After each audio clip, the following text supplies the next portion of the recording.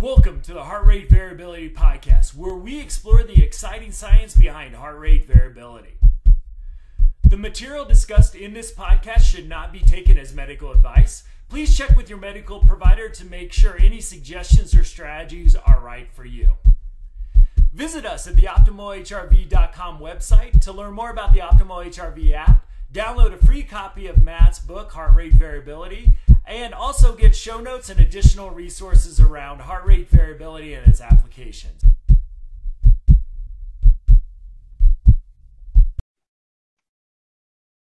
Welcome, friends, to the Heart Rate Variability Podcast. I'm Matt Bennett back with you today. Um, I'm excited. I, I, feel like I have a legend in the field of heart rate variability and a future legend in the field of heart rate variability. If you haven't heard uh, Anna's uh, podcast. I think it was two or three ago. Um, I was I was already impressed with Anna's work, and then the podcast. I was like, I can't let her go, so uh, we offered her a spot on our nonprofit board at Optimal Innovation Group. She was gracious enough to uh, accept and uh, quickly uh, reached out for her to co-host this episode with me. So uh, I'm excited to bring her voice to the table. And Anna, I know you have a connection uh, with our guest today, so I'm going to hand it over to you to do uh, sort of a brief introduction. Uh, like I said, we got a a real legend in the field today. So uh, I'll hand it over to you, and I'm just so looking forward to this conversation.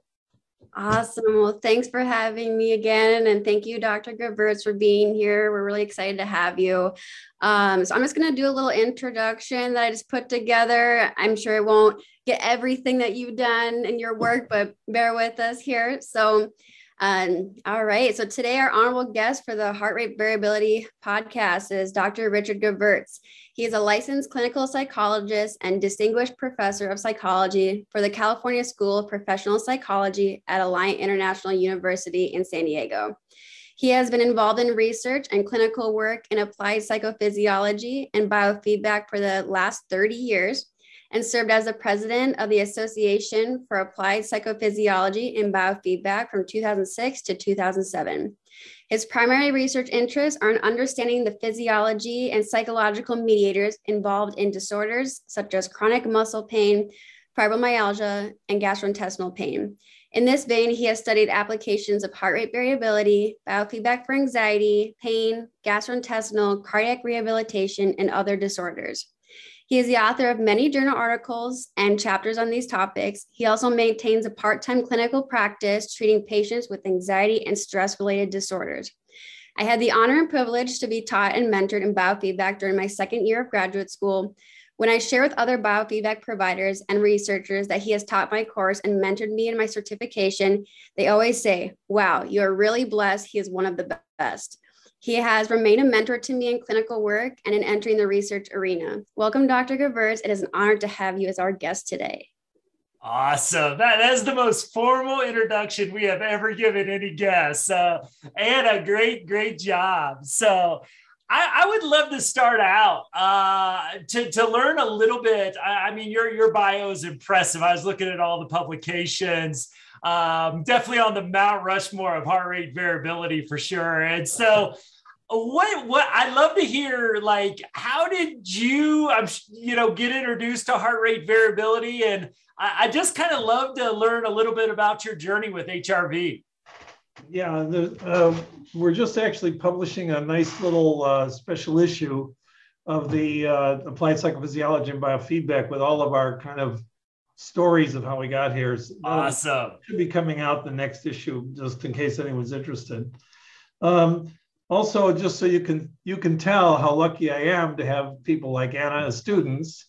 So it definitely keeps me going. So we get we get a few students a year who are really interested in this stuff, and it's what makes my job great. They come in, they're excited. It's te- it's technical stuff. They really want to learn it, and they learn it and go out and spread the word. So it's really really great to uh, have people like Anna in our program that do this. She was one of the most enthusiastic students in the class I've ever had. She asked so many questions, which actually I loved. That was because I've had a couple of years of classes where no one asked any questions. and that's a bad sign. well, it's good too because now I ask her questions and she's teaching me. So uh, there's some vicarious learning going on for sure. Well, so my journey started actually an undergraduate. Uh, I was very lucky to be a student of Peter Lang. Uh, for those who don't know Peter Lang, he's really one of the founders of the field of psychophysiology and has a couple of really main uh, uh publications hundreds of publications, but some that really changed the way people look at it. And this was in the 19, uh, early 1960s in Madison, Wisconsin, uh, where there wasn't very good technology for the measurement of stuff. Um, but on Peter's class that I, it was a graduate class that he let a few undergraduates in. I was, I wormed my way in by uh, taking him sailing actually, because I'm an avid sailor and he wanted to learn how to sail. So I bribed him by taking him sailing. uh, so his course was called Blood, Sweat, and Tears, which was the introduction to psychophysiology. And he he to this day is an unbelievable. He's still going at, a, at an older age, and he's an unbelievable intellect and uh, mentor. Um, but from that, I kind of, I, I really was always very interested in mind body issues. I really didn't even want to go into clinical psych because I didn't think it was scientific enough. And, but that kind of piqued my interest. Uh, I spent my senior year um, doing a senior thesis measuring just heart rate, not heart rate variability. At that time, we needed a half time engineer and a half a room of equipment just to do ambulatory heart rate. Uh, and the study was actually on desensitization for snake phobia. And it was a control group who, who didn't really get desensitization. They just had to come back for a post test. I think Anna's heard the story. Uh, I spent my senior year in girls' dormitories begging the control group to come back to the lab for the post test. we had a we had a live little boa constrictor in the lab, and uh, the people in the control group didn't lower their fears at all, so they didn't want to go in the building. so in those days, uh, you guys are too young, but those days dormitories were men and women, and the women's dorms had like glass shields so the men couldn't get in. Oh, so I, I'd have to be, I'd have to come in. The, the main, the biggest one, if anyone's older watching this, is called Liz Waters Hall. It's a very large girls' dormitory women's dormitory and and had a receptionist, you know, the, who was a guard. They couldn't get in there.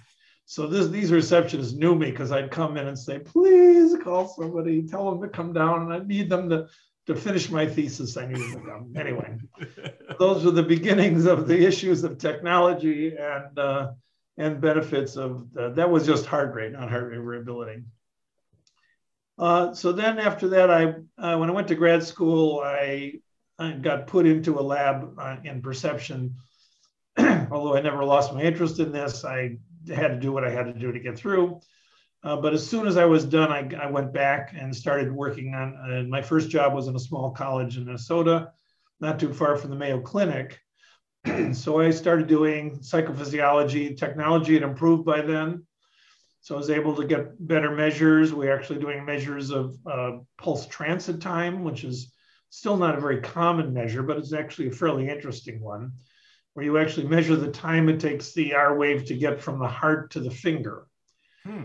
And what determines the speed of that is actually the camber of the major arteries.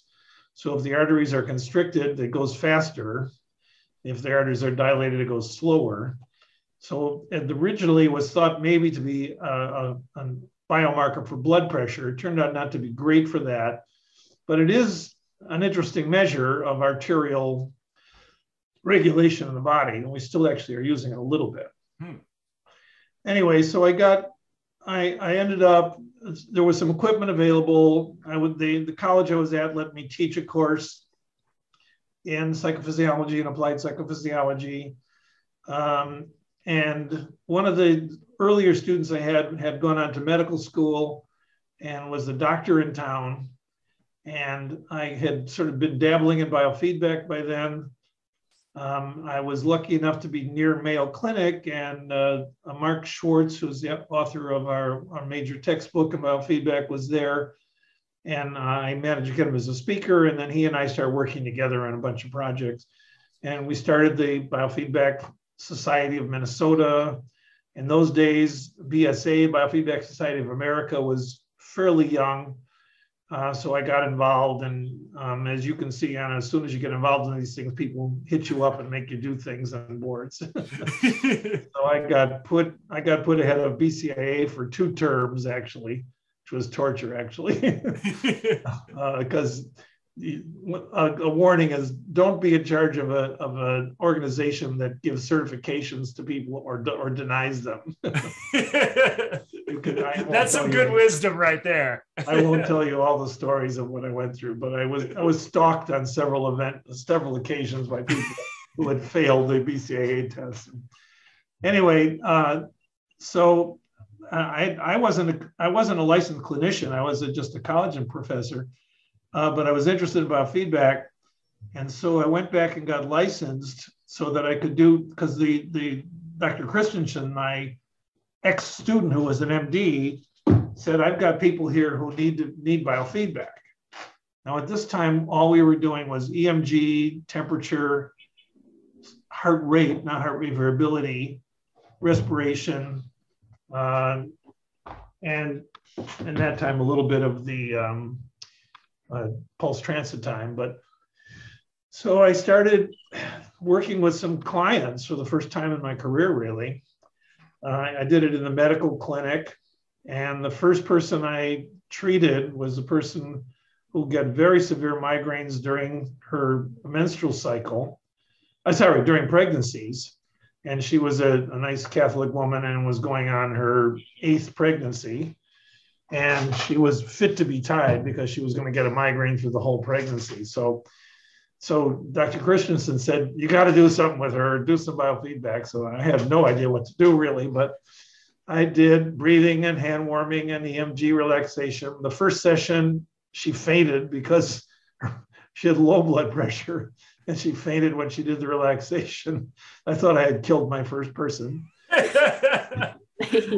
but but she got better and she got through her pregnancy with like four migraines the whole time wow and i said wow this is fun. This stuff is really cool. So um, after we came to san diego by then i had bought uh, quite a lot of equipment. And uh, i started a, a practice and started in cspp using biofeedback. Again not using heart rate variability at the time but using the other modalities. But I was also friends with Steve Porges, and I knew of the work of Julian Thayer, who is now a good friend of mine.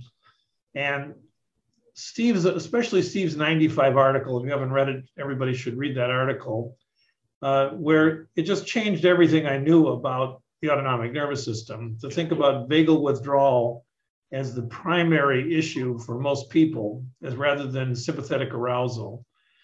Uh, and but of course, we had no way of measuring that.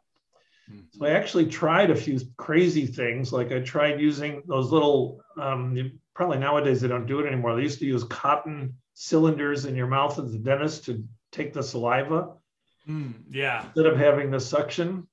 Uh, and salivation is a parasympathetic response, right? So we, we actually had people weighing those little cotton balls, and that, as you might guess, didn't work very well. Uh, but from Porges, I knew that um, if I could get equipment that would measure beat by beat heart rate, that there was a way of measuring the, uh, the parasympathetic the vagal, vagal activity in the body.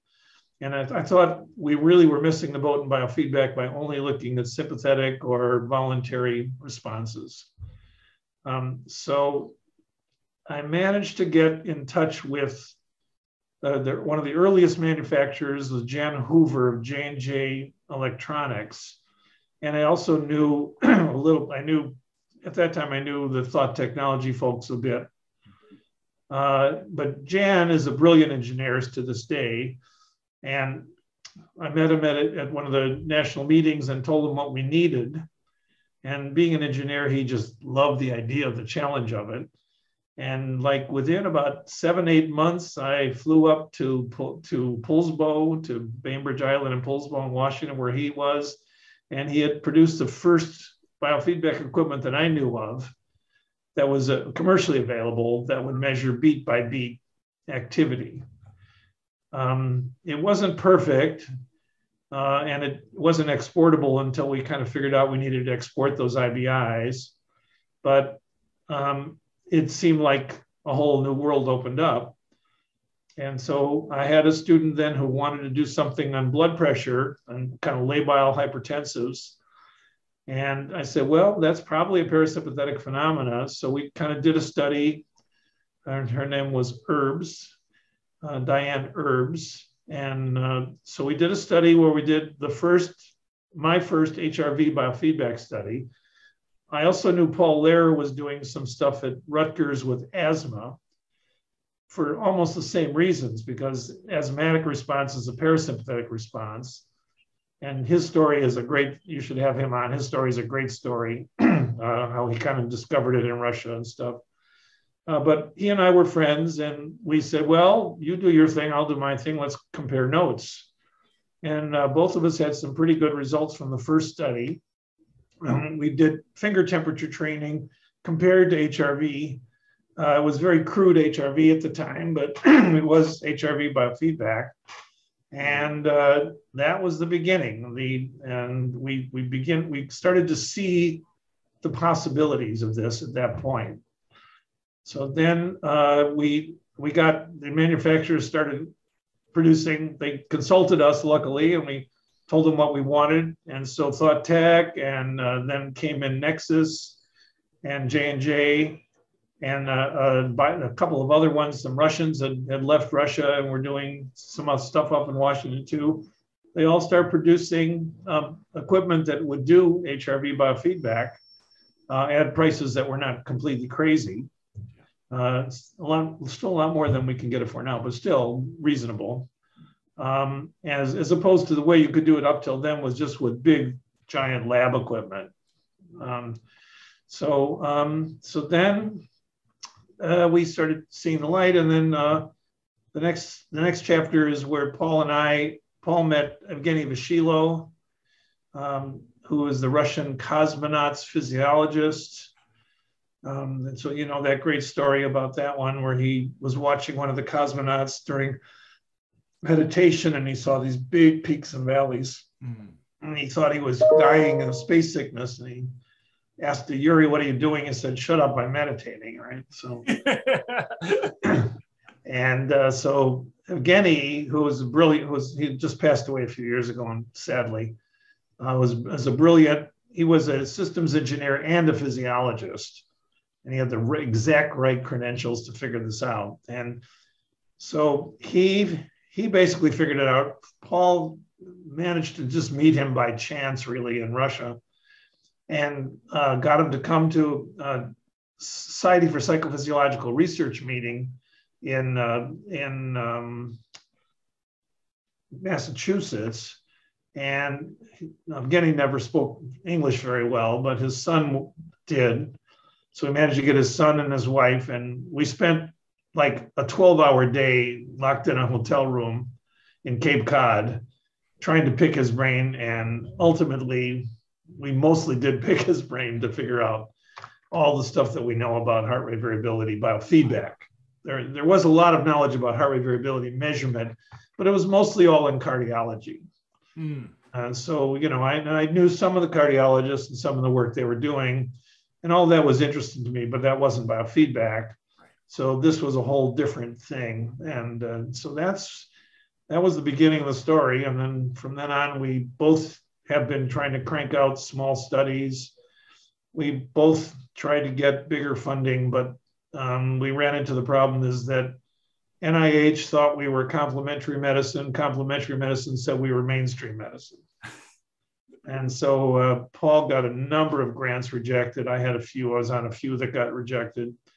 Um, but just recently, uh, much to our great delight, one of our colleagues at University of Southern California, Mara Mather, uh, a few years ago obtained a multi-million dollar grant to do to, to study heart rate variability biofeedback um, and with a really clever control group. And that the results of that study, which we presented elsewhere, are fantastic. So great.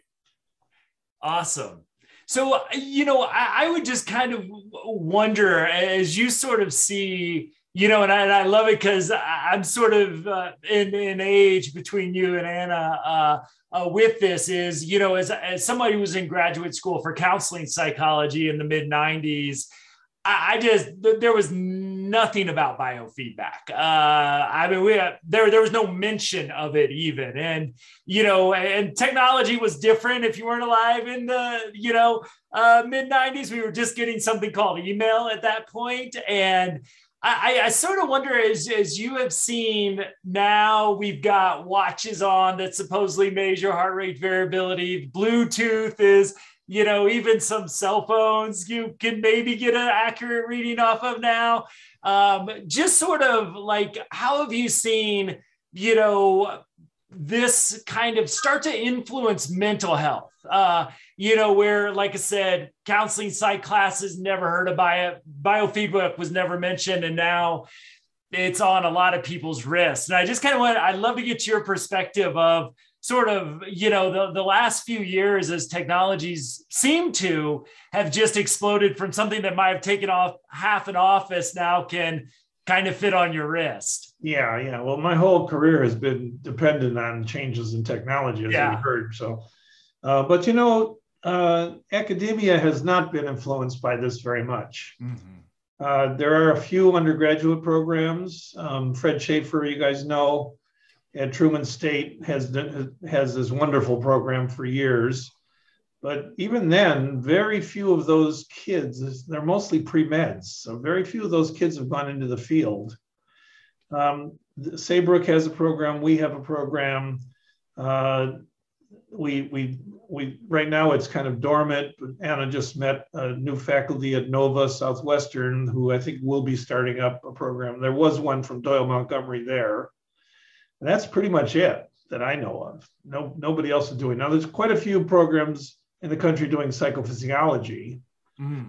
um, but usually with sophisticated equipment and a lot of that has migrated to uh, EEG or evoked potential research but there still is the, the field of psychophysiology. If you look at the journal Psychophysiology, there are a fairly good number of HRV papers, usually measurement papers, not, mm-hmm. not biofeedback. Uh, but so it's a little frustrating that um, what we obviously see as such a powerful tool in the world is mostly been in uh, on the periphery, um, uh, big in terms of uh, athletic performance, uh, big in terms of you know uh, an internet presence all over the place, uh, but very little in the way of academic training, and um, especially in clinical psychology, which seems crazy to me. But like even in our institution, you can talk to this. How many of your peers? Said, "Oh, that sounds great, but that's not for me." I mean, right. It's a bit technical. It's a bit. It's a new thing. It's something you have to kind of have some interest in. Yeah, I remember uh, my in the podcast I did, I talked about how it seemed like a lot of people were just like out of their comfort zone, um, and so then there was kind of like, okay, I'm not going to step into that. Um, but I felt like that for me, like I was always taught when you go to school or graduate school, if you don't step out of your comfort zone, you're not going to grow. So that was just kind of like the, I guess the compass I was following. But I mean, I I know even people who like took the course and they were just like kind of overwhelmed by the the technicalities behind it. Um, but you know, kind of like what you were saying, I I originally wanted to go into medical school and do more like uh, more like hard science kind of work, and I was worried, you know, if I do clinical psych, will it be you know scientific enough. And biofeedback was a cool way to kind of meet that middle spot so that we can work in medical settings and work with medical providers. So i feel like if we don't have this bridge we're going to have a big gap. Yeah i think that's a very good insight. And i think that's right. Another area that this has been true in has been physical therapy in mm-hmm. rehab and rehab. In the early days we had steve wolf was very active in our field uh, and he's a giant in uh, in rehab, in in uh, neuroscience of rehab. And so he, in those days, we had a lot of physical therapists in the in the society using biofeedback for neuromuscular reeducation, and that's pretty much gone out of our field completely. Again, it's just out of their comfort zone. It's mm. a it's a whole series of things that they're not trained in to start with, and uh, despite our best efforts, that hasn't really happened uh, as as well. So I think you're exactly right. Um, the the student who's defending at three o'clock was uh, was a health student who has not done a thing with psychophys or, or biofeedback since since he took the course. He moved into other areas. Good student. And so yeah, we've got a ways to go. Uh, but I do feel like you're right. Momentum is building. Uh, the most people have heard of it at least, and when they kind of learn about it, they seems pretty cool. The new technologies are very cool. Uh, prices are coming down for uh, a lot of the equipment now. So I think we are on the verge of uh, more of this. I certainly am, I get contacted a lot by people all over the world who want training. Um, and so I think, and some of them want to incorporate it into postdocs. It may happen more in postdocs than it will in actual graduate programs. It's a little hard to squeeze them into APA programs. Yeah. Uh, but, or like in counseling programs like you were in, those curricula are pretty full. Mm-hmm. And we have counseling programs that get none of it at all in our university. They they never heard of it, right? So yeah, it just seems like technology is so profuse in everything we do, and you know, with heart rate variability, why I just couldn't let it go was like you know, with my background working with uh, folks with trauma histories, I never could measure whether my interventions were really trying helping to heal the nervous system that I was reading all these books about. And it's just like the, the one thing that I thought I wanted to know what I was doing and like to purchase a functional MRI probably wasn't practical even, but definitely not in my budget. I actually Googled it once at a, a child residential facility I was working at and realized I should uh, stop googling functional mris because you know out of my price range with my budget but yeah. you know the, the interesting thing and I, would love to get your kind of thoughts on this as well is you know there, there's been and, and i've heard stephen porges talk a couple times about how when the the trauma world which has just you know exploded as as well I've been doing it for 20 years. And, you know, when Oprah writes a book on your, your, your passion and what you've dedicated, things change. Um, so now like the adverse childhood experience study and all this is too. So, so it's, it's interesting because like Porges kind of got in, in some ways, and then this is a, a layman's uh, example of uh, trying to put together some of his talks of, you know, the trauma world found polyvagal theory and, and really kind of breathed additional energy because his work was brilliant, but before the trauma folks, you know, and, and I, I'd love to see kind of as, as we've had this explosion of interest, understanding science, pseudoscience around the nervous system you know, you you must have been on this ride too in some ways of seeing just this uh, the world coming sort of into your realm with you know the this interest in the brain, and now thanks to Porges and others like yourself, uh, the autonomic uh, nervous system as well. Yeah, def- definitely more interest, and, and and again, there is there's strong academic interest in measurement of HRV so you got a lot of very sophisticated labs doing, and they they almost all do it right.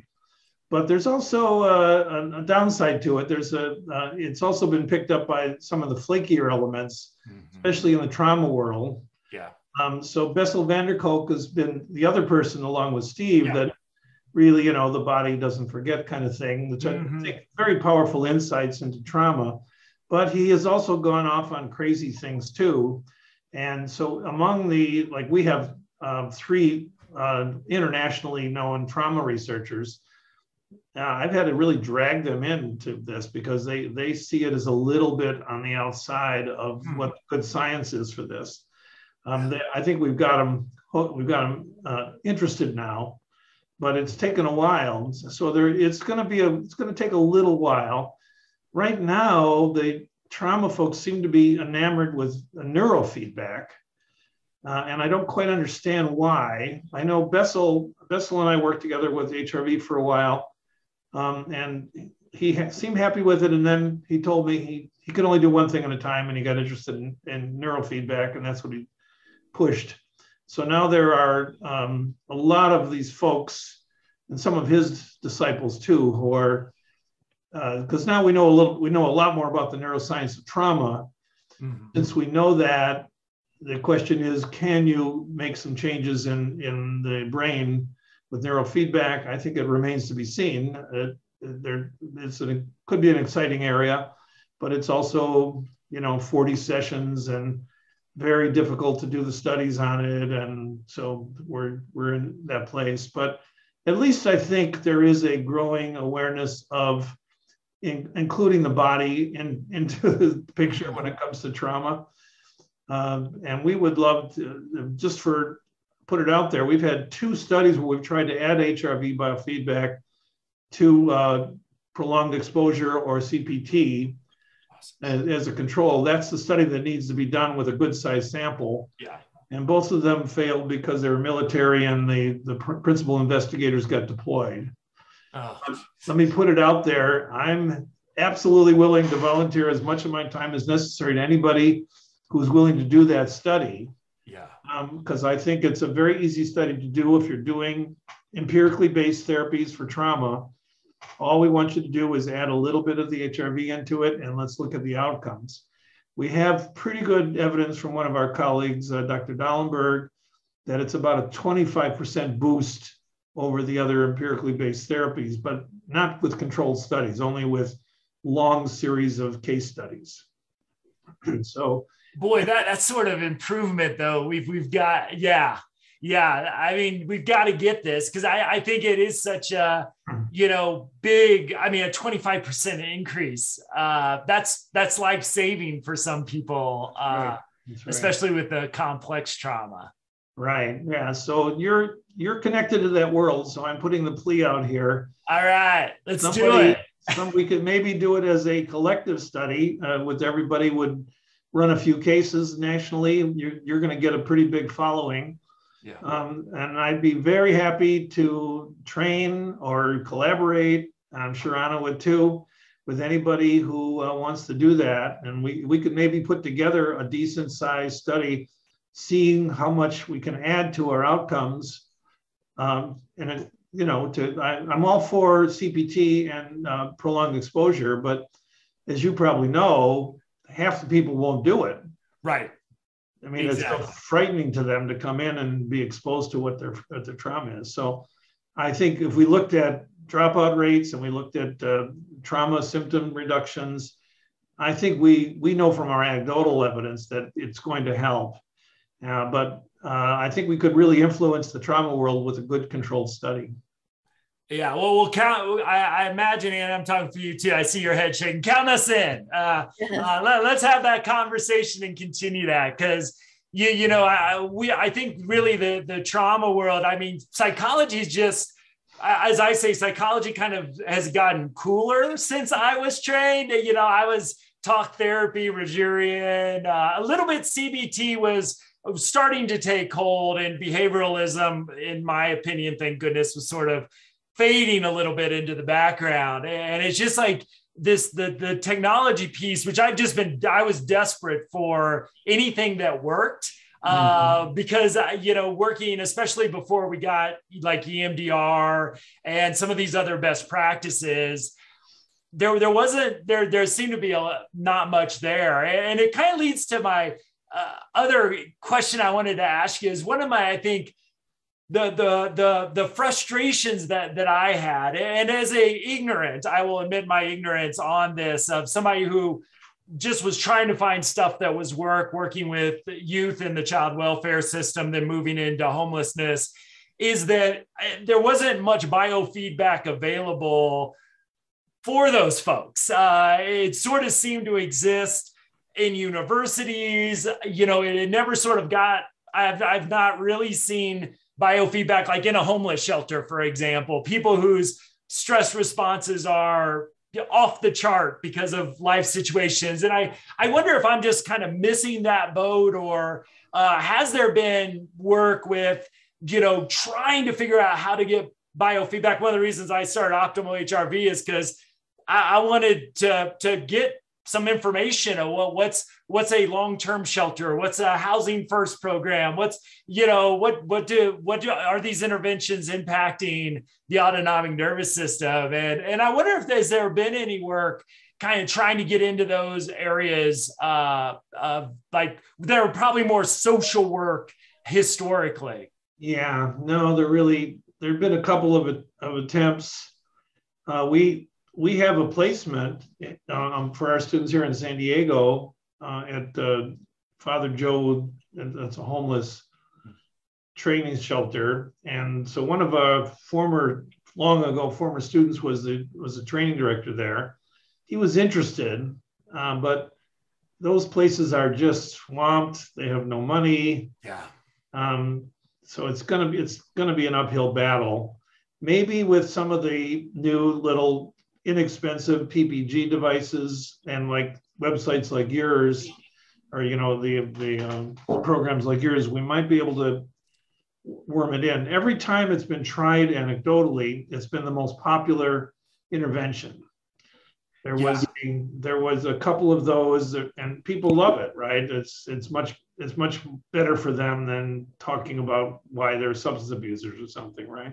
Uh, that's where I saw the power too. And again, not having to necessarily, and I think we're learning this in the trauma world, helping to regulate the the stress response without having to relive your trauma or disclose your trauma. That that's why it's like I, I think that there's so much a uh, power in this, and it, it may be in some instances the intervention, and others like I kind of hope that kind of HRV biofeedback. Uh, you know what what we're trying to do with dr hazan and, and her work is like almost the the greatest homework assignment a therapist could give. Like obviously there would be some stuff happening in the sessions to set people up but rf breathing rates and other things it's it's kind of like to me the equivalent of the journaling we we always give people as therapists is like here's uh, you know I, I don't think we're going to give up journaling anytime soon but this has got to be at least I, I think in our thinking around those issues.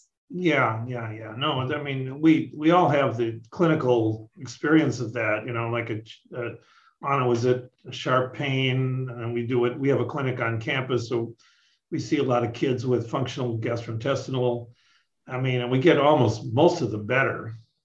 And the people yeah. at Sharp, they uh, at this pain center that we started actually to to based on biofeedback kind of things has a long-term history of getting long-term disabled people back to work um, with you know chronic pain of all kinds. And so you can sort of see and, and you can see the patients gravitate towards something concrete like this. They love it. So but yeah. that being said it's still hard to kind of get the, the big the big uh, organizations to kind of move around towards that. So I think it's changing a little bit in some areas because we're seeing a big influx of psychologists into medical specialties. Mm-hmm. So now there's cardiac psychologists, pain psychologists, gastrointestinal psychologists. I'm working with Children's Hospital of Pennsylvania. They've got a staff of about five really top-notch trained when some of them trained in Vanderbilt, one of the best places for gastrointestinal. They totally get it. They they interface with the docs beautifully, and now they're and they they're hungry for biofeedback, and they're that's that's what we're doing. We're putting it into the, those systems. Um, but it's funny that you know, given what we do at Sharp, on that very few other pain programs actually do anything like that. So uh, I don't know if, if, you got a chance to describe that ever on, on your channel, but it, but it, you know, it's a program that we started. It has to support itself on its own fees, and it has done that for 20 years or something, and has remarkably good outcomes. Mm-hmm. It's it's not just biofeedback, but it, biofeedback's a big part of it. So anyway. Totally, totally. I think um, the fact that something that I've come to realize too is I think a lot of bringing biofeedback whether it's like you know sometimes it's hard to get it in the research like the actual interventions but i think it's also just spreading the excitement and the and the stories because the stories are really powerful for people too. And um, you know i remember i had a patient who would say when i do my diaphragmatic breathing and i'm you know watching my heart rate during you know uh, my appointments at sharp you know, I feel like I'm in a safe haven. Like, because the, when they're in pain, they just feel like they're constantly in battle. Mm-hmm. And when I just remember her saying that, I remember her face, and she just said, "It's my safe haven." and you know, they, that's like the first time she's felt that, and sometimes their whole life, because it's like part of their identity is to be on the go and do everything and be perfect. And you know, I think what's you know, and it's unfortunate because of the you know the crisis we're in in terms of just like mental health since you know current post pandemic is a lot of people are just trying to figure out how to manage stress or because they just couldn't do their jobs anymore. Um, i've noticed like more people are asking me more curious about it because you know like they go to talk therapy and, and they kind of get like okay here's what i need to do. I need to calm my nervous system but how do i do that? Um, and so i think it's a really important piece in terms of um, just being able to one like see your data and I what I really like about optimal HRV is I, have been doing it myself and to be I'm going to be full disclosure here I had a hard time adhering to daily breathing. I totally did.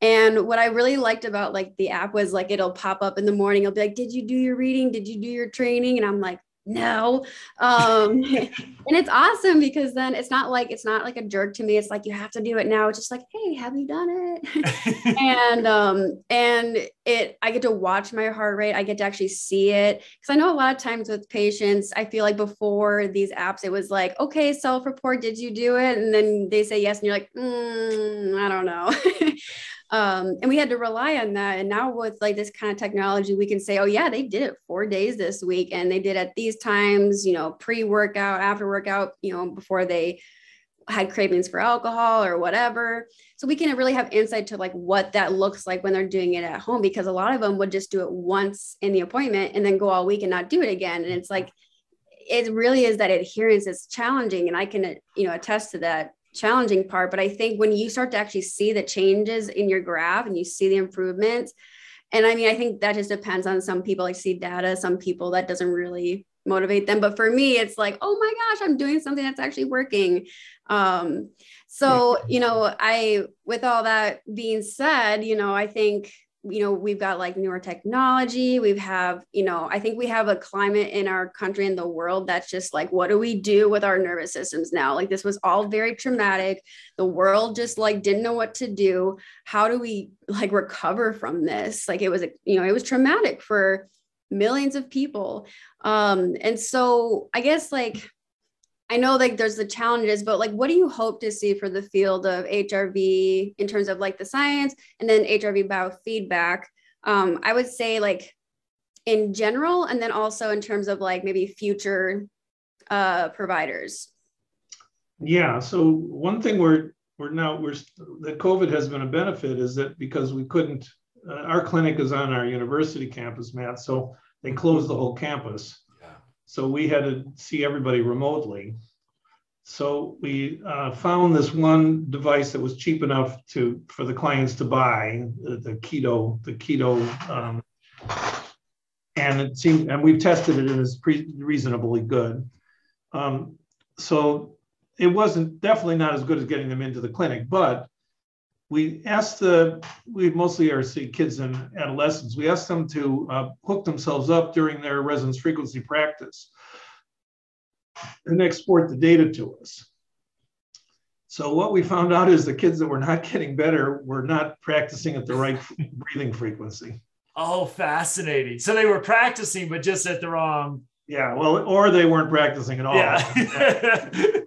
we had a lot of those always, but we sort of knew who those were. Yeah. These are kids. oh, yeah, I practiced four times this week, doctor. And we look at it, and so this kid's resonance frequency was seven breaths a minute. And this is with a pacer or with music, right? But they were just distracted. They're breathing 11 times a minute during their practice. Yeah. And that, that the neatest one was that kid was not getting better. And one of the interns started texting him on a regular basis every time she saw a wrong practice, she just bugged him on texting. And he was a teenager. And he started practicing it. Uh, like within three weeks, he started getting fewer symptoms. That's awesome. So it was like, oh wow, you know, there there might actually be a dose dependent relationship here. Who knows, right? We, yeah. We've never really known that. We've got a little bit of data on that from a study with the Meru Meru is an online therapy. Uh, it's a Finnish outfit, but they're also in the United States. Mm-hmm. And uh, some years ago, they added biofeedback to the CBT that they do online. So we have, and and they do export all that data um, using the HeartMath hardware. Um, so we tried, we just did publish a study, in fact, trying to see if we could predict depression reductions based on how their practice was going. And we did find one pretty good predictor, which was the slope of the low frequency over time. Hmm. Right. So remember, when you're breathing at resonance frequency, you get a single peak in the low frequency range. The height of that the height of that peak is dependent on the peak valley differences and the smoothness of the waveform that you're doing. So when we looked at the slope of the lines, that was a predictor of, of depression reduction. So that's the first study I know of that actually looked at like any kind of dose dependent relationship with home practice and outcomes. And we all had a lot of anecdotal data, but this is the first one. So that's for the future. We're going to do a lot more of that. So right now, um, one of our students is doing a, a, study with the Lief Therapeutics. They're cooperating with us so we can actually get really good ECG data. Uh, so they come into our clinic, we fit them with one of these devices, uh, and we, after we train them and we watch them for a few weeks and see do they really practice at all? If they practice, do they practice the right frequency? How long do they do it for? And then plus we have symptom outcomes. I think we're going to get a lot more of those kinds of studies that really going to be powerful. Um, right now, I have a first year student who's working with Children's Hospital of Pennsylvania. I've been uh, the person who's the head of gastroenterology there came from our Children's Hospital here. Hmm. Lovely, lovely gastroenterologist person, Dr. Hayat Mousa. And they they were able to come up. They got they were able to get a, a contract with UCSD Biomed to come up with a device that measures gastric motility non-invasively. Hmm. So we can actually see whether we're actually affecting the gastric motility, which is really exciting to gastroenterologists. They care about that. Yeah. So we're going to be able to see pre and post treatment whether uh, whether gastric motility is in fact the mediating factor. We know the kids get better. Hmm. In one study, we had 28 consecutive cases, and all of them got better. Uh, two, uh, 75% were completely symptom free, 25% had just a few symptoms left. So, in general, for the uncomplicated cases of these kids with, with gut problems, they get better. And if we can show that it's because they're actually changing the motility of their gut, that will make a big splash in, in the GI world anyway. So I think there's going to be things like that in cardiology, in pain, in, uh, in gastroenterology. Um, I'm uh, our UCSD. Uh, I guess they got some big money coming in. They're going to send it, have a digestive disease center for adults, and the gastroenterologist is totally interested in this for for GERD, for GERD or for esophageal problems. So there are these little pockets in areas where people have kind of reached out and are looking for ways. And I think what will end up happening is programs like yours will be the intervention because it's so much more practical than having. We might get we might be able to get one session in a lab finding resonance frequency, and after that, the home practice will be on some platform like yours, uh, and they'll. Those are getting better and better. So, I mean, I, I see that as a big future. Also, just in, just in terms of the lay public, I'm sure you guys want that. Just people are going to be wanting to get mm-hmm. involved in platforms like this. Uh, the the danger of that is that it could look like a fad. It'll be a big hit, and then people say, "Well, this is too much trouble to do every day. I won't do it anymore." But um, we have to kind of find ways of really making that work, right?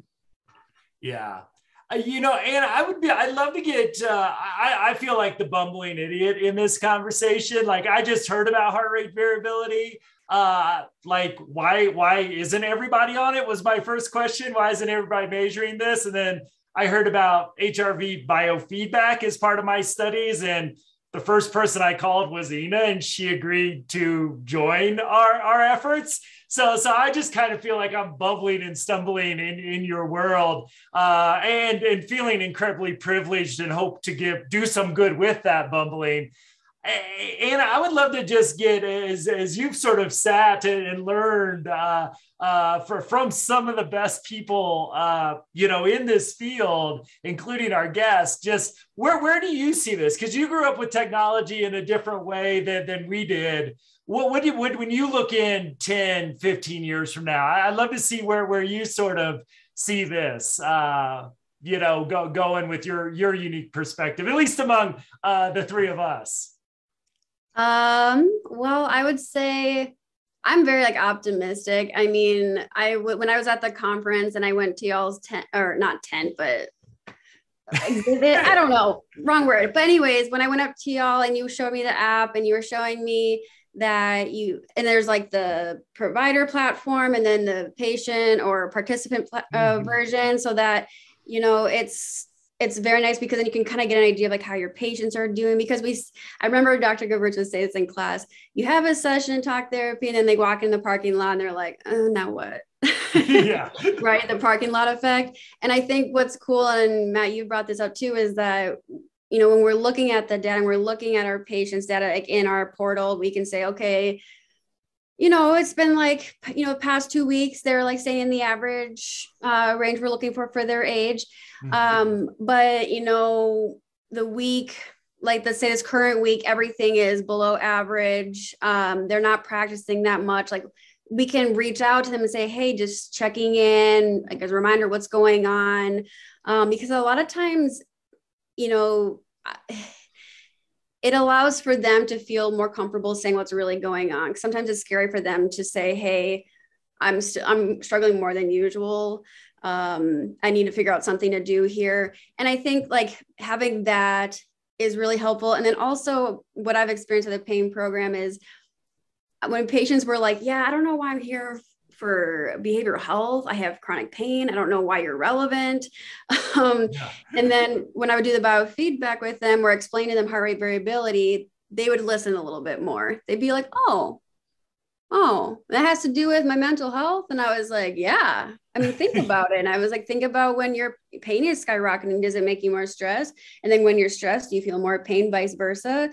Can we interject somewhere in that vicious cycle? And they're like, oh, okay, I'll, I'll, come in next week and then we'll see how it goes, you know? Awesome. And then they keep coming back and then it like kind of gives them a different entryway because of there, there is stigma with mental health services. So I think what's great about like biofeedback and just like, you know, different psychophysiological approaches and interventions is we can kind of help people who may kind of may not have come in otherwise, but they are interested in biofeedback. Like I've had patients at the prior practice I worked at who said, I'm coming here for biofeedback, but not therapy. I was like, okay, that's fine. Yeah. Um, and sometimes we don't do more than just the training, and that's fine. But really, I mean, it's still addressing their mental health, right? Um, so I think it's going to help people have like another avenue. I think spreading the works. A lot of people like it was surprising. Like when I was in Dr. Gevirtz's class, I was like, oh my gosh, same thing. I was like, how do people not know about this? Yeah. and uh, I was like, oh, really excited. He probably remembers. Um, and it's hard to get excited in some classes, you know? so, um, but I think the more we spread the word, like when I talk to other graduate students in their year one, I'm like, you got to check this out. You got to see how we're going to make it more accessible. We got to see how we can make it part of trauma treatment, a part of pain treatment and they get excited too like it's contagious you know you don't always hear that when someone's like so have you heard of this really i mean i don't want to diss but like really cool talk therapy yeah. um, but when people hear stuff where they can get involved technology using these outcomes for like i know you've written books on this too matt like about like looking at well you know wellness of your employees mm-hmm. like i think it's just like it helps us to really see things on a macro level on an individual patient level and also just really um help us to kind of get an idea of how people are doing with kind of what Matt said in his presentation, kind of like a, an x-ray of kind of how they're doing. Um, and it doesn't mean that they're always like doing poorly. It just like gives us a reason to reach out. And even that itself is huge. Right. Um, I know we're getting close to the end here, but I, I see, I see some things really changing, especially because of the pandemic. I think people are more serious about their mental health and they're willing to invest in it. And even if it's like five bucks a month to do it, like, you know, that's definitely better than paying, you know, hundreds of dollars. So I think people are, and it's sad. Like I think people are almost like desperate and are motivated enough to say, like, I can't put myself through what I did during this pandemic. Like this can't happen again. Yeah. So I'm hopeful. awesome. That, that leads me to a question for you guys, and you can edit this out if you want. Have you thought about going to like uh, raise money through advertising or other sources rather than subscription? I think subscription is going to be an obstacle for your platform? Yeah, I mean, we we have. Um, I, I the, the question mark I have would that turn people off versus would it would free? I mean, right now, where if you do a yearly, we're less than five bucks a month, which for some, I mean, my my whole thing was with the populations that I created, you know, and started this, it had to be affordable. Like it it couldn't be a hundred dollars a month or you know had to be a and it had to be accurate which sometimes those are tricky to work both. You could do cheap and inaccurate or or vice versa. So I, I, I have been kind of thinking, and, and you know, if if if one of the Mount Rushmore of HRV would tell me it's okay, like if before a reading or biofeedback, we, we could th- throw a YouTube video out there and give it away for free. Um, you know, I, am not against that. You know, I, I've had that thought uh, a few uh, times along the way as well, is that people are used to watching at least the intro of the YouTube video. And, uh, you know, could we, could we give it away for free if we, we did that? And we're, yeah, or have, or have an option that if they don't want ads, they pay something, you know, yeah. like a lot of people do. I think yeah. that, I think you'll get more. I think you'll get yeah. more. There's, there's so many things out there that are end up with like a monthly fee that people don't want to do. Yeah. Just a thought I've had about it anyway, but uh, yeah, yeah, it, it's definitely something. It's like, how do we get this to as many people as possible? Uh, and how do we pay the developers and all that. Again, never thought I would say I, I have a tech company, uh, and uh, we yeah. got a great team, and Anna's been a great uh, addition to that. So, uh, I, Doctor, I, I, just want to thank you for your time. I, I, don't know if we would be here if it wasn't for you. Uh, you know, being part of the chain that you helped create in many ways. Uh, I, I, just want to uh, say thank you for all the work that you've done. I, I, know I learned a ton from you just at the conference. Um, and even like just getting ready for this, watching some, I, I, I got in a rabbit hole and didn't get my to-do list done today because I started watching your videos um, online. So um, in the show notes, we'll, we'll put your, your bio in there and contact information. And uh, hey, just a shout out, whoever wants to partner with us to do that research study, uh, I, I, think the three of us are, are on board. So, uh, uh but I want to, I want to again, just thank you for your work and please uh, hopefully, we can spread the word uh, about work you're doing. And if you've got anything else uh, you'd love to talk about, uh, the invitation is uh, always open. So, okay. Okay. Well, keep up the good work. It was great to talk to you. Great to see you again, Anna. You too. Thanks for joining us. Okay.